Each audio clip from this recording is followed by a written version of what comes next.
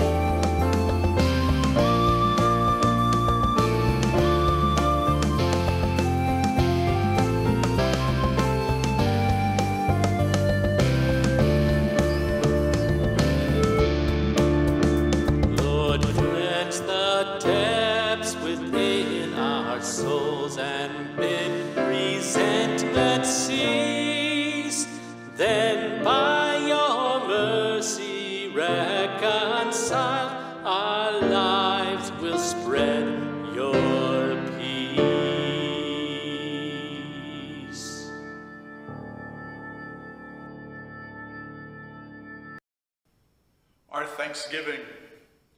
Alleluia, Christ is risen. Christ is risen indeed, alleluia. Breathe your peace into your church when we hide in fear. Clothe us with your mercy and forgiveness. Send us compassions on our journey as we share your life. Make us one, risen Christ. Cleanse our hearts, shower us with life. To you be given all praise with the Holy Spirit in the glory of God, now and forever. Amen. we pray the prayer of the day. Almighty God, with joy we celebrate the day of our Lord's resurrection. By the grace of Christ among us, enable us to show the power of the resurrection in all that we say and do. Through Jesus Christ, our Savior and Lord, who lives and reigns with you and the Holy Spirit, one God, now and forever. Amen. We hear God's word.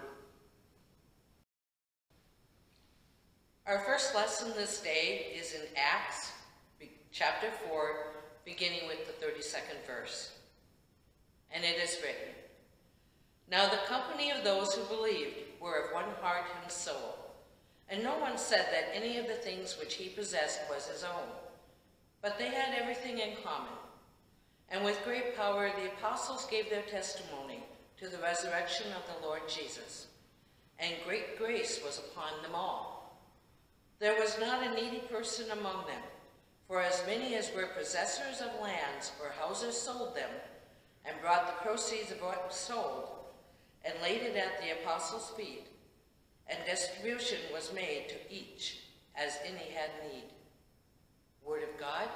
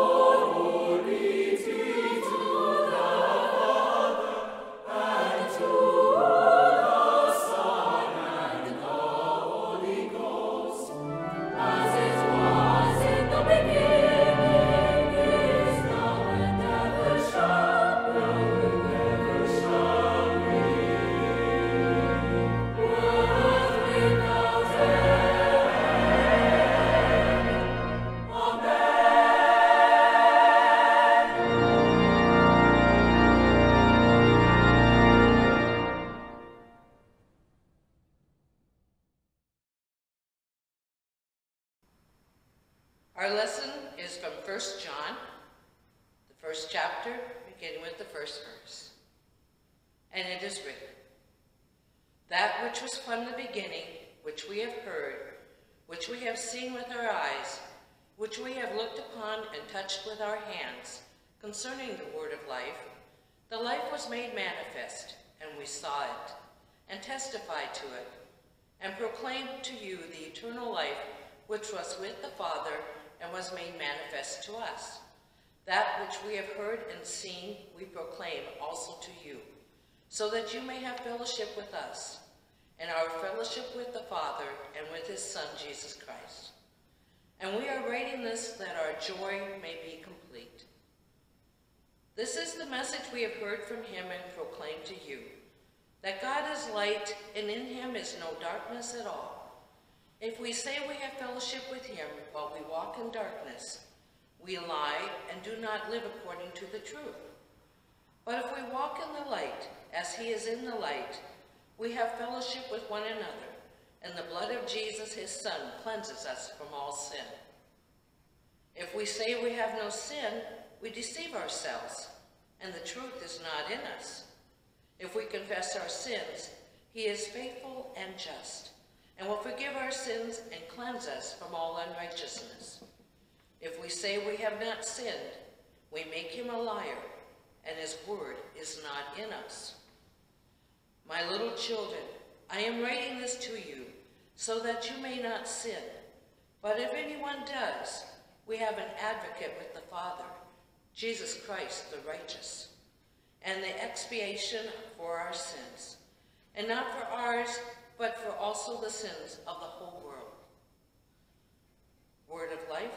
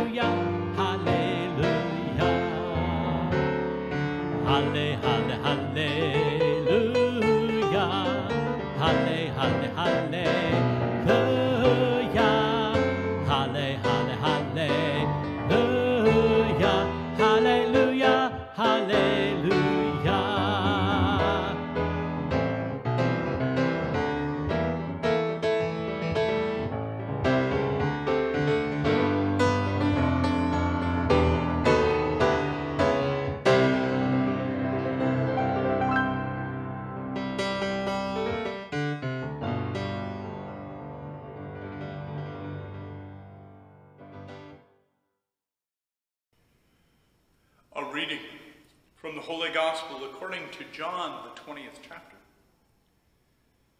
When it was evening on that day, the first day of the week, and the doors of the house where the disciples had met were locked for fear of the Jews, Jesus came and stood among them and said, Peace be with you.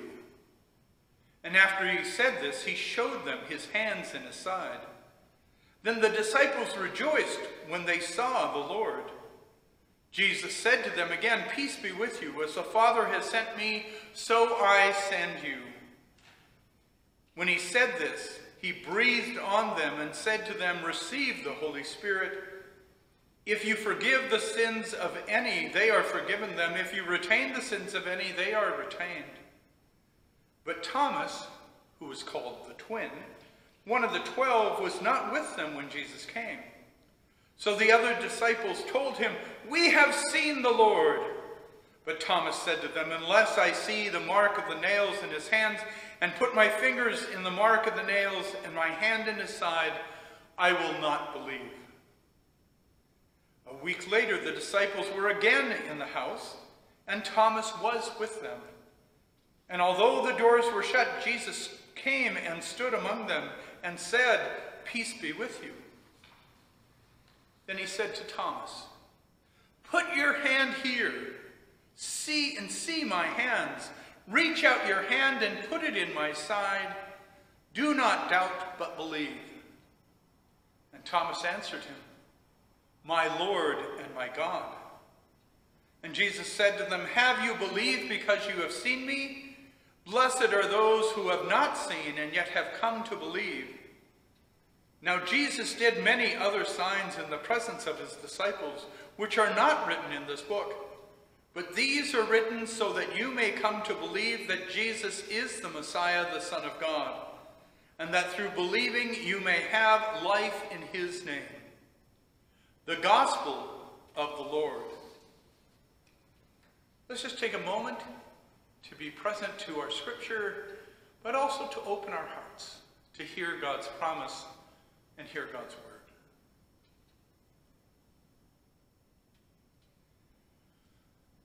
Mercy, grace, and peace from the one who creates, redeems, and sustains. Amen.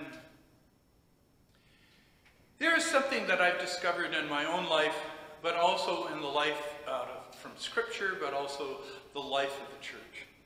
That there is a certain pattern to how one lives out and engages their faith. Um, not just in terms of finding it in Scripture, but also just in the practical experience of living. That being, that being believers in the story is the first step of that pattern that we see. Because the second, second part of that is doubting the story. The third part is reconnecting to the person about whom the story is. And then the final phase is trusting the person who has told that story. And we get that in our gospel today in a very, very intentional kind of way. Thomas is often judged as being doubting, but that's not where his relationship with Jesus starts. He's been a follower of Jesus. And in St. John's writings, Thomas is lifted up as the disciple who asks the hard questions of Jesus. Not doubting, but believing that what Jesus says and does matters. He wants to understand who Jesus is and what is his mission. He gets it wrong many different times, but Thomas is engaged and he is listening deeply to what Jesus says. And we have to realize that Thomas is the one who's absent from the room. Is he just playing hooky? No, my guess would be he's probably um, he's probably helping take care of the other believers at that time. Maybe he's out getting groceries for the other people that are too afraid to leave the room. So why should Thomas be surprised? Why should we be surprised that when the disciples proclaim that Jesus is alive and that he's risen, he, that he's given us peace, and he's breathed on the Holy Spirit, they have done nothing but stay in the upper room. That's it. Why should Thomas believe anything has changed, that any of this is true, if the people are not changed in the process. Now, I'm sure you all remember that I have preached on this exact theme previously. Just go back a year or two. If Jesus is truly resurrected, why are the disciples not changed in this event? They have, as I said before, they've received the, the, the peace of Christ. They, he has breathed on them the Holy Spirit. And their first command is that they are to forgive. This is important because with Thomas, when he does see the Lord, he does something that none of the other disciples have done yet. He falls down before Jesus and he proclaims, My Lord and my God.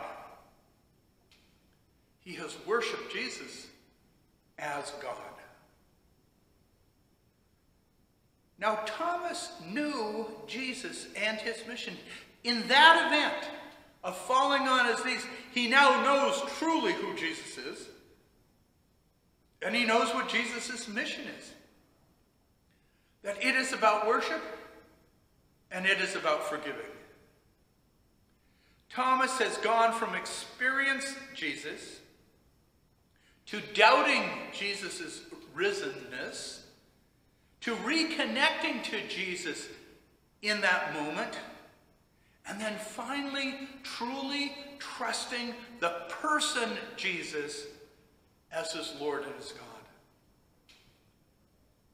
We also hear the same pattern of believing, doubting, reconnecting, and trusting in the first letter of John, which is our, our other reading for today. And it shares that the word of life, Jesus, has been revealed, seen, heard, touched, declared, that the fellowship with the Father and the Son, Jesus Christ, has already happened. So we then have to look and, and think about what does that mean? That it's been seen and heard and touched and declared. What does that mean for us? I mean, Jesus is proclaimed God is that God is light, and in him there is no darkness at all. And now Jesus Christ is that very light of God. It is the very life of the Father. Yet the pattern continues. We have fellowship with God, which is about believing, yet we still sin. That's what 1 John tells us. And we still sin. If we say we have no sin, we deceive ourselves. And in that sin, we are also doubting. We doubt that God can love someone who is still a sinner. That God can love someone who is still in the darkness. But our text reminds us, but God who is faithful and just forgives our sin and cleanses us from all unrighteousness. So we have believing, we have the doubt that is surfaced in the midst of sin, and then there is that reconnecting. Reconnecting to God because God's love and God's cleansing is, is also part of our life.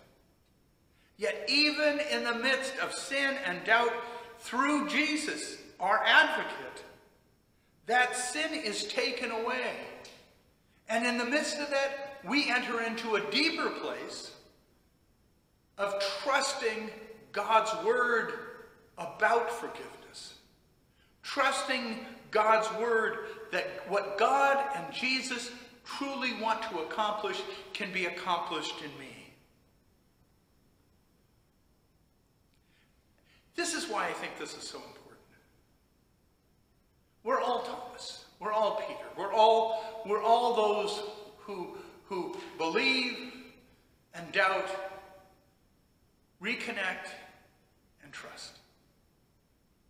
When, I, when people have come to me in the past and asked me, uh, well, I really want to start reading Scripture again, where should I start? I always tell them, start with this first letter of John in Scripture. Don't try to start at the beginning. Don't jump right into a gospel. Start with 1 John. And here's the reason for that. 1 John explains this pattern that I've been talking about. And it explains it in such a way that it engages us that we recognize not only that we have sinned, and we have believed, and we'll sin again. It tells us that God's the power of God is not doesn't it's not one and done. It's not one time we believe and then we're always we will always believe, we'll never doubt. That's not the Christian life. Christian life is about the cycle of God's constant forgiveness, the constant forgiveness that we are reminded of in baptism, the constant forgiveness that we're reminded of as we share communion.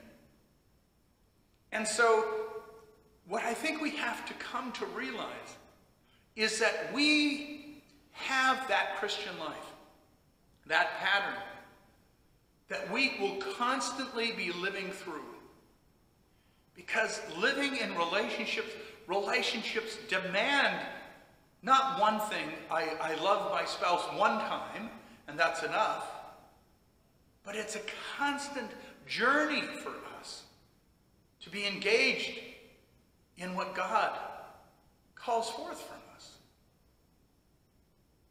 That is what Christian living is all about. That's what it means to be resurrection, resurrection people today. It means that we're on the journey, that we're in that constant cycle. And in every step, God is there. In love, in forgiveness, with life eternal. That's the promise.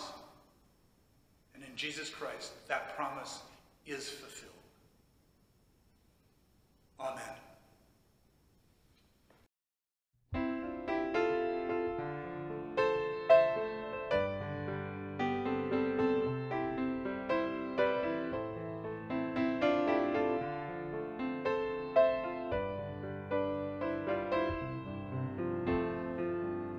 Change my heart, oh God. Change my heart, oh God. Make it ever true. Make it ever true. Change my heart,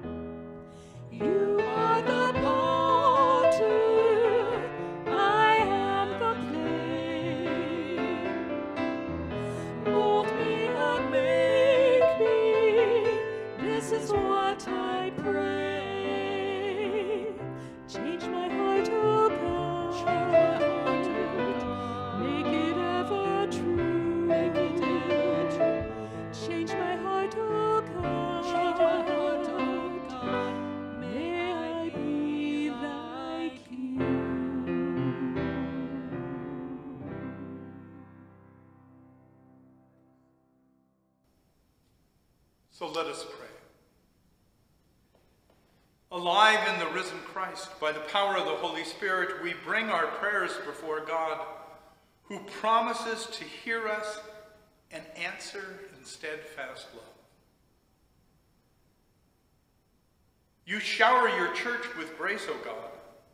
Unite the whole church on earth, so that with one heart it testifies to the resurrection of Jesus Christ with power and love. Hear us, O God. Your mercy is great. You proclaim the blessing of life forevermore. Like dew upon the mountains, refresh your creation, restore waters, cleanse the air, and provide the vital, vitalization necessary mo- moisture to our parched lands. Give your whole creation the promise of no life. Hear us, O God, your mercy is great. You direct the nations, O God. Guide all in authority that they shepherd their people in the ways of your love. Defeat in us our impulse to war. Bestow the peace of Christ upon those in authority and breathe upon them the Holy Spirit. Hear us, O God. Your mercy is great. You place within the heart of the church a spirit of sharing. Give us the power of generous of your generous spirit that we provide for the needs of others, whatever those needs are, and especially these, this month, we pray with Shepherd's Door and the clients and the staff there who are our partners in ministry. Announce your peace to those who are lonely, hurting, suffering, or afraid. Hear us, O God, your mercy is great. You give us a fellowship with one another in this faith community. Shine the light of the risen Christ in our life together so that we live in love for one another and the joy is complete. Hear us, O God, your mercy is great. And let us remember during this time our call committee and the work that they continue to do, but also the, the work of our council and our committees as we are preparing for our transition to uh, be back together on a more regular basis. We pray for our new pastor, whoever they may be, that they also will be filled with the Holy Spirit and know the love of Christ and proclaim that to us. Hear us, O God, your mercy is great. In the hope of new life in Christ, we raise our prayers to you, trusting in your never ending goodness and mercy through Jesus Christ our Lord. The peace of the Lord be with you all. Share that peace with those around you. Pray for peace for those who are connected to you. Share that peace. Also on this Sunday, I just want you, um, I want you to be thankful. You have an extraordinary church staff who has for over a year has been faithfully uh, providing worship and information and communication and outreach. We have an extraordinary group of volunteers who make up this church who all through the pandemic have stayed safe but have been involved and committed to what we are about. I just hope you know how much I as pastor appreciate our staff and our volunteers and you who continue to support our ministries. You make this possible. Thank you.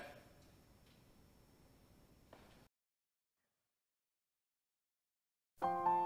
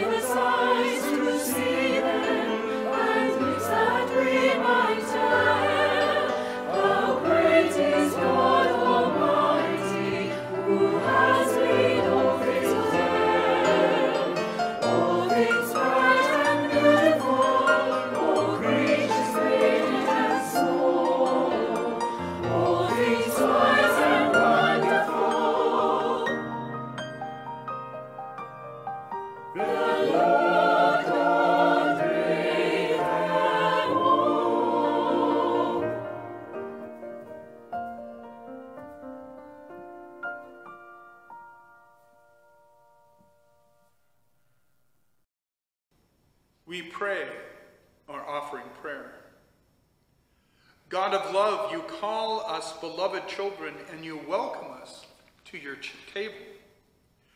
Receive our lives and the gifts we offer.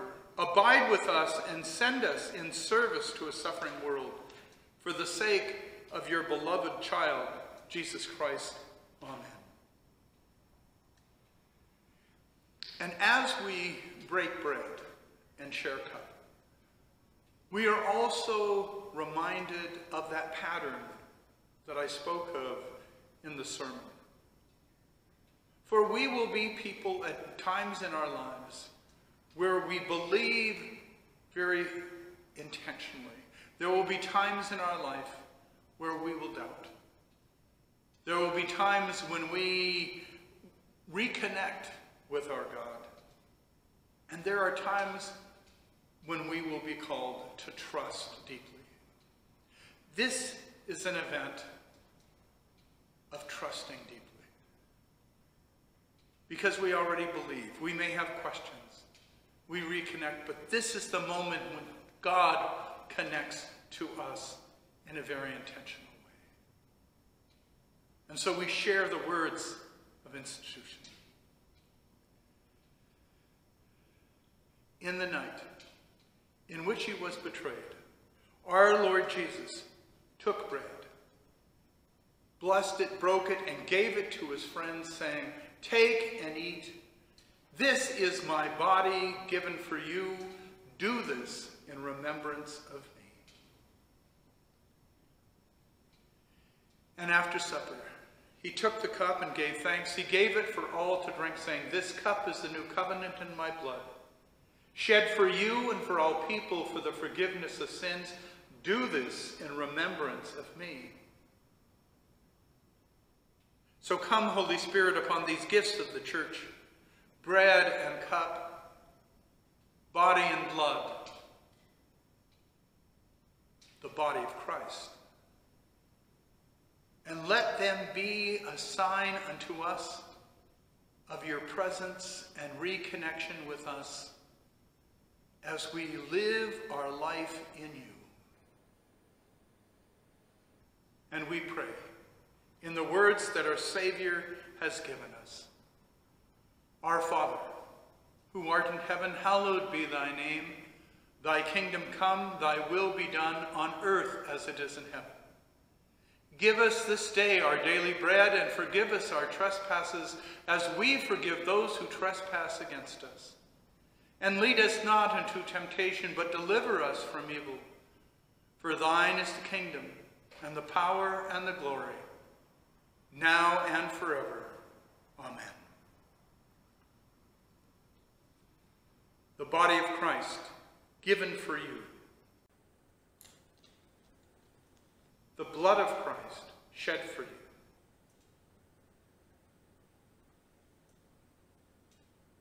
And for those not receiving communion today, know that God's blessing of his life, of his promise, are fulfilled today for you.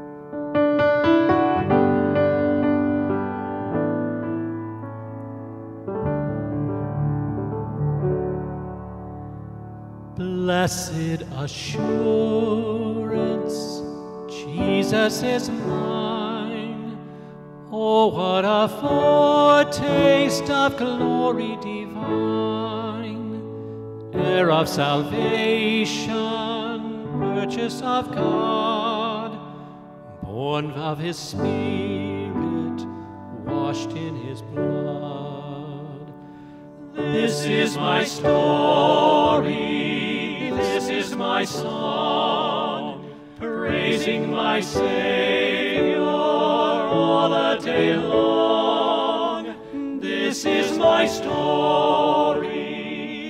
This is my song, praising my Savior all the day long. Perfect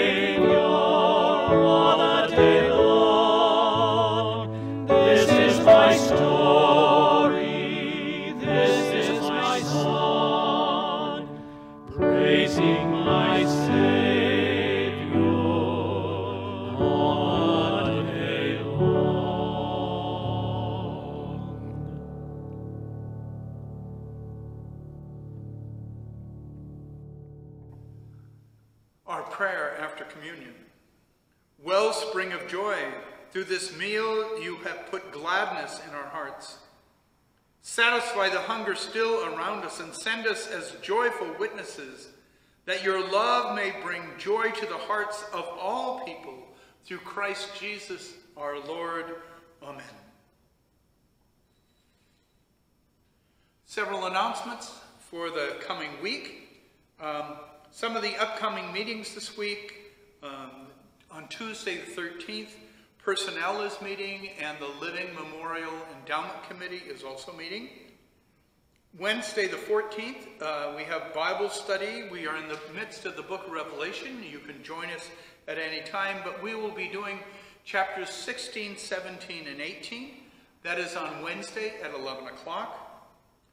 Uh, Thursday the 15th, high tea and happy hour at 4 p.m. And our topic for, for that week will be where do we see resurrected life today? Sundays, uh, both today on the 13th and next week as well, we continue our 11 a.m. Uh, Zoom conversation about the scriptures of the day, but also the sermon, if you've had a chance to view that. Um, birthdays coming up this week. Today, Kim Doherty. Uh, the 13th is Annetta Anderson. Uh, the 15th is uh, Deirdre Chappell, uh, Richard Johnson, and uh, Melina Nichols. 16th is Martha Ralph. 17th is Brendan McNasser. We celebrate their life and their, their life celebrations this week. There are no anniversaries this week.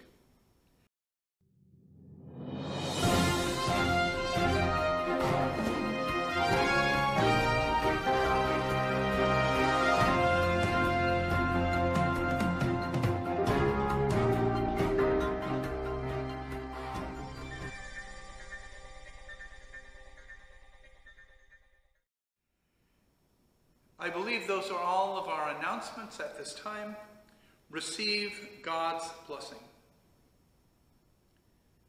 May the glorious God grant you a spirit of wisdom to know and to love the risen Lord Jesus. The God of life, Father, Son, and Holy Spirit, bless you now and forever. Amen. Alleluia. Christ is risen. Christ is risen indeed. Alleluia. Go in peace and share the good news. Alleluia. Thanks be to God. Alleluia. Have a blessed week and know that the risen Christ is with you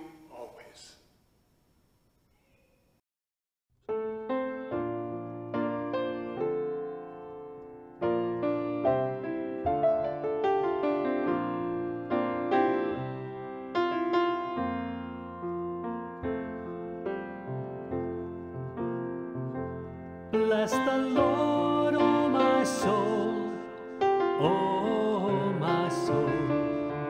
Worship his